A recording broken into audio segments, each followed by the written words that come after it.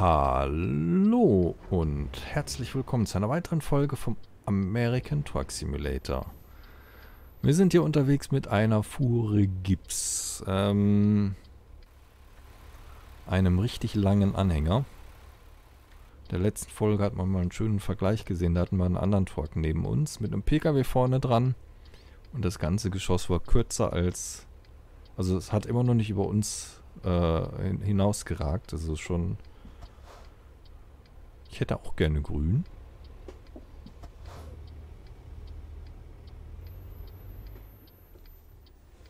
Wenn ich das mal so anmerken darf. Hätten wir auch geradeaus fahren können. Egal, jetzt nochmal grün, jetzt fahren wir. Ich dachte gerade schon, warum will er nicht? Aber wir haben halt 21 Tonnen Gips hinten dran. Das ist natürlich schon ein bisschen, was da an Gewicht wieder zusammenkommt. So, einmal rum ums Eck.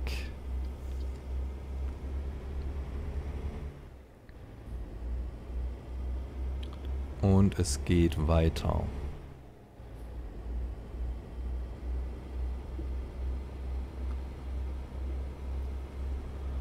Ähm, darf ich mal kurz? Danke.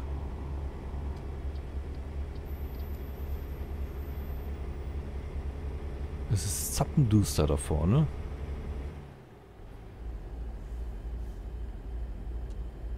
Machen wir mal Licht. Ähm ja, ich habe es im Eurotruck Simulator schon erzählt. Ich weiß nicht, äh, inwiefern das auch äh, ihr, die hier zuschaut, das auch guckt. Ähm, machen Fernlicht gerade mal wieder aus, sonst blenden wir hier alle. Äh, demnächst werden wir auch mal ähm, Detroit Become Human spielen. Äh, ein Spiel, was es bisher nur für die Konsole, für die PS4 gab. Oder unter anderem für die PS4. Ähm, aber ich glaube, es ist PS4 only gewesen. Bin mir gerade nicht ganz sicher. Auf jeden Fall gab es nicht für PC. Wird es demnächst auf, für den PC rauskommen. Und äh, ich habe es mir schon mal vorbestellt. Ähm, weil ich habe es damals auf der Konsole gesehen. Ich habe selber keine, ich habe es nicht spielen können. Oder kann es auch auf der Konsole dann nicht spielen. Wie gesagt, habe keine. Und ähm, da hat es ordentlich gescheppert. Und freue mich natürlich riesig, dass das jetzt für den PC kommt, weil das Spiel ist einfach mega. Ähm, werde es wahrscheinlich auf Twitch streamen, aber werde es natürlich so machen wie bisher auch, dass ich die Streams dann hochlade. Und dann, ähm, ihr das hier auch gucken wollt, äh, gucken könnt, sofern ihr das wollt. Seid natürlich auch jederzeit herzlich eingeladen, mir auf Twitch zu folgen und ähm, dort das Ganze dann live zu sehen.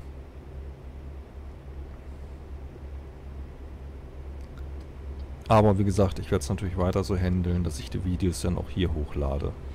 Äh, kann das problemlos machen. Ich bin weder Twitch-Partner noch bin ich äh, Affiliate.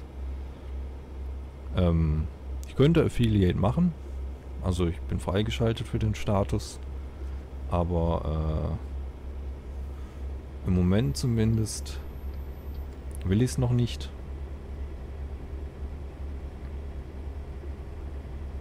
Und ähm,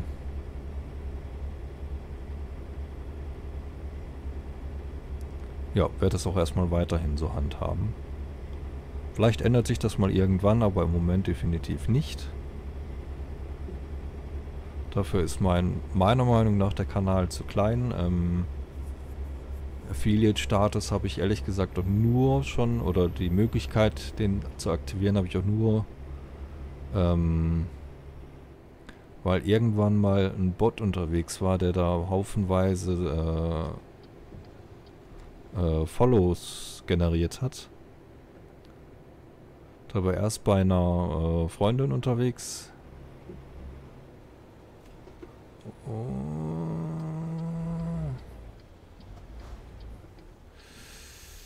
Da, da, da, da, da, da. Was machen wir denn jetzt? Doof aus der Wäsche gucken. Etwas, was man nie tun sollte, Leute. Oh. Da stand einer, den habe ich nicht gesehen. Genau deswegen sollte man das auch nie tun. Rückwärts fahren auf der Autobahn ein No-Go. Auch auf dem Highway natürlich. War aber jetzt gerade doch mal nötig. Ähm... Wo war ich? Ja, genau. War ein Bot unterwegs, der hat haufenweise Follows generiert. Äh... Wäre der nicht gewesen...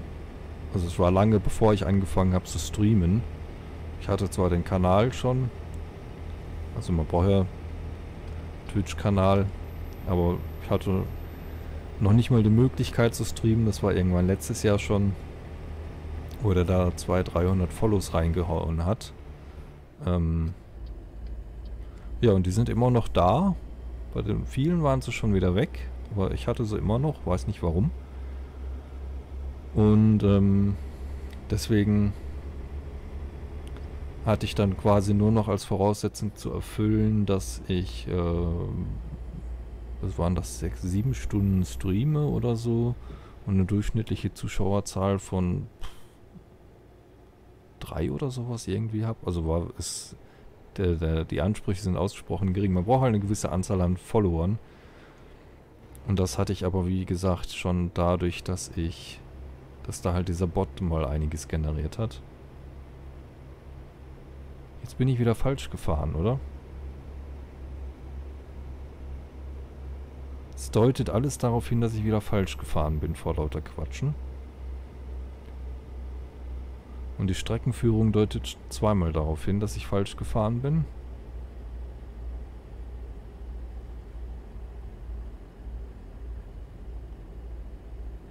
Hm. Hm, sag ich dann nur. Zwei Stunden und sechs.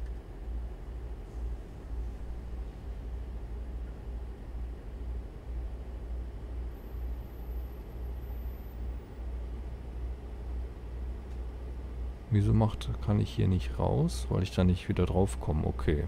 Macht Sinn.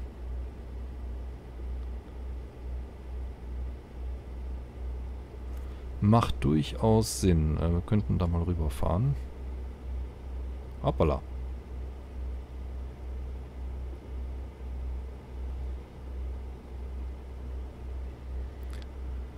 Hm, hm, hm. So habe ich mir das nicht vorgestellt. Ganz und gar nicht.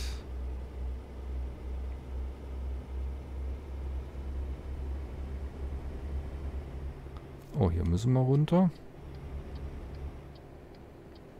Haben wir gar keine andere Möglichkeit. Dann fahren wir diesen schönen Bogen.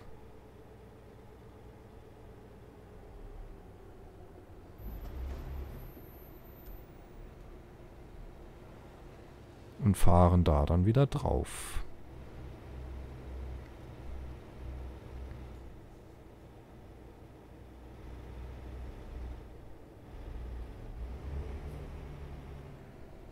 Oh, eine Ampel. Eine Ampel. Ja, du bieg ab. Mach mal ein bisschen flott. Und wir kriegen grün. Bestens.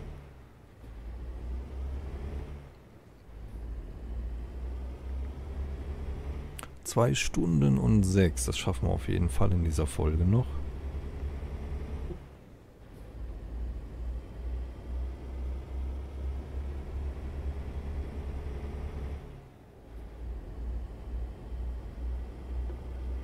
Das schaffen wir auf jeden Fall.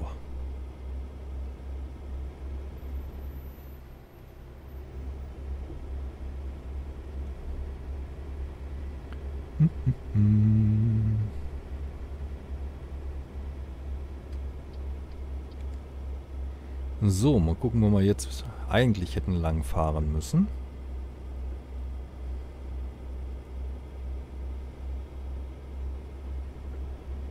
Bin ich ja mal gespannt.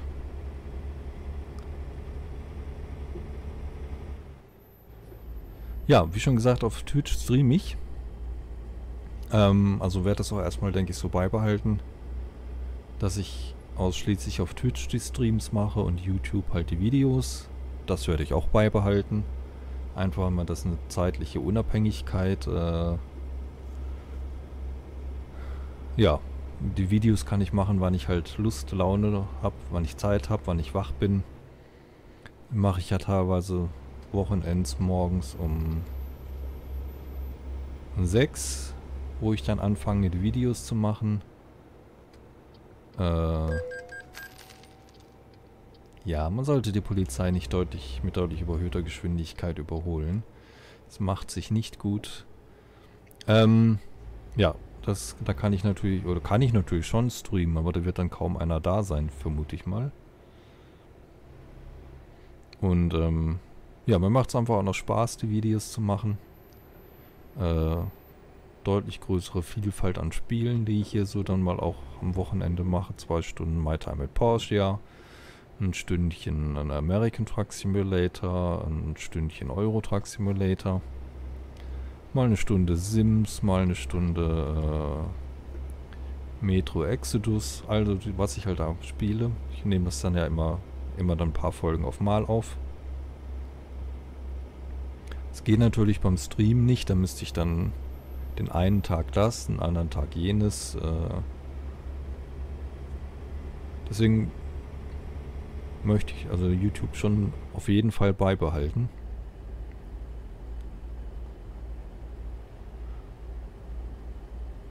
Und wie gesagt, ich kann das dann halt auch mal Sonntagmorgens um 6 vorm Frühstück ein paar Folgen Eurotruck Simulator aufnehmen. Dann mal ein bisschen Rennen lassen. Eine Folge in der Zeit in Ruhe frühstücken und Duschen und so Sachen und dann die nächsten, äh, der American Truck Simulator. Und so weiter.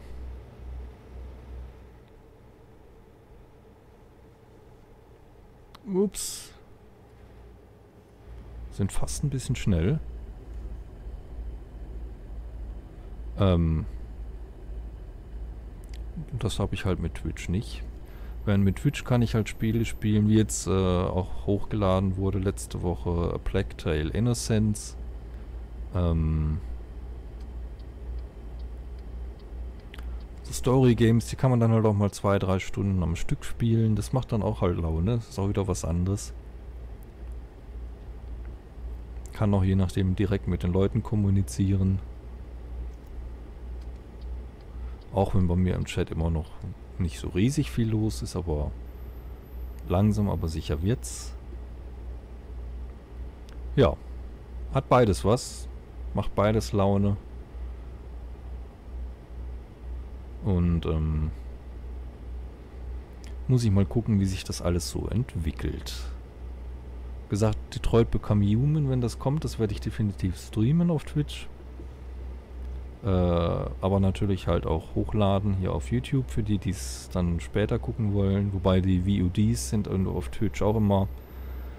Äh, weiß gar nicht, wie lange die gehalten werden. Zwei Wochen, drei Wochen, vier Wochen?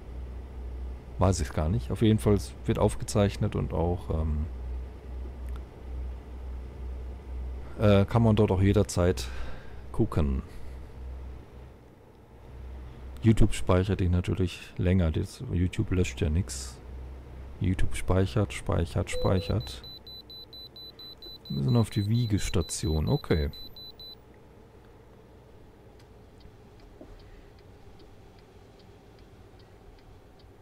Und dann, ja, werden wir halt einige Spiele im Stream machen.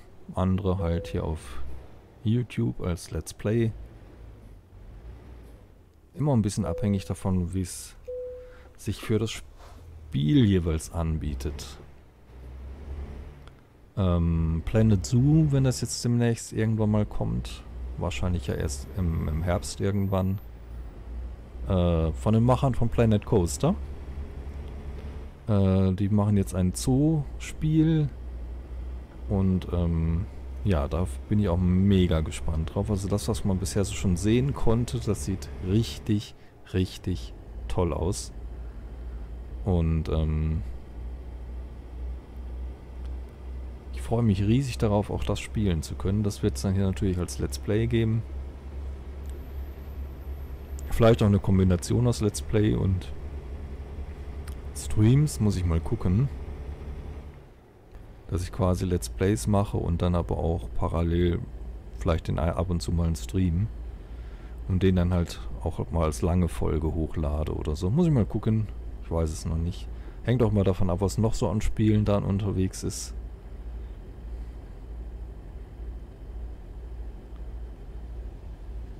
da bin ich dann ein bisschen spontan. Äh, My Time at Porsche zum Beispiel habe ich ja auch sowohl im Stream als auch als Let's Play, aber da habe ich dann unterschiedliche ähm, Spielstände.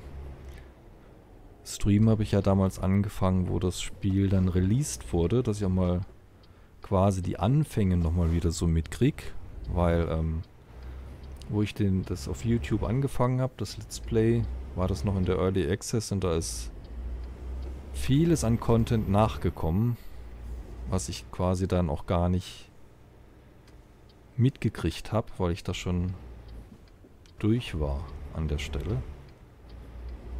Zum Beispiel wie die, äh, äh, wie die Katze Pinky und ähm, der Hund Scrabbles zu uns eingezogen sind, habe ich nicht mitgekriegt. Plötzlich waren sie da nach irgendeinem Update.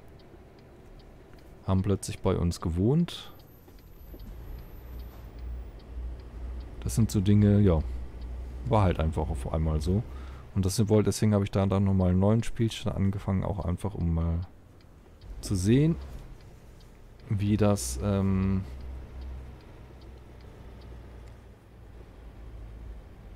Wo müssen wir denn hin? Da. Äh, ja, wie das, wie so die eigentliche Story da halt ist, ne? So, einmal ausliefern bitte. Wo würden wir da hin? Hm.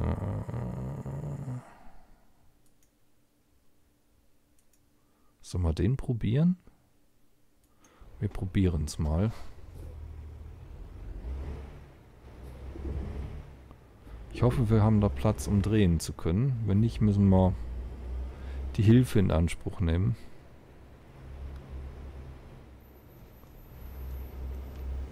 Ups, Anhänger. Das wäre dann jetzt mit dieser äh, Dings besser, wo man da, äh, wo man das quasi dann mit Kopf- und Augenbewegung steuern kann. Kommen wir da vorbei? Das war knapp. Ich hatte schon gedacht, wir rumsen da in die Steine rein.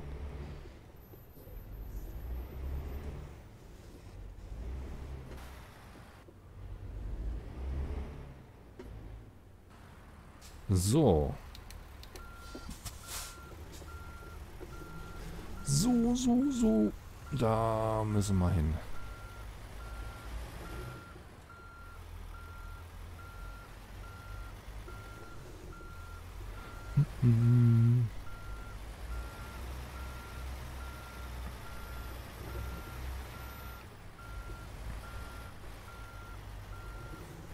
Das geht im ETS einfach einfacher.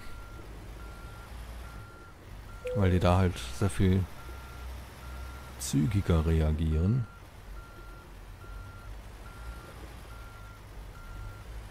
Wobei, jetzt geht das auch gut. Hatte ich jetzt nicht so mit gerechnet. Grün, wir haben es geschafft. Ist doch fast perfekt eingeparkt.